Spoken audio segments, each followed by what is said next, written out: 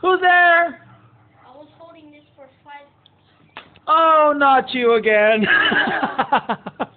What's up? Uh, my girl asked for the appointment for hair Oh my God! Right for now, I'm- oh tomorrow. Oh, nice hair. Where'd you get it cut at? Uh, supercut. Let me check out the back. There's nothing. Amazing.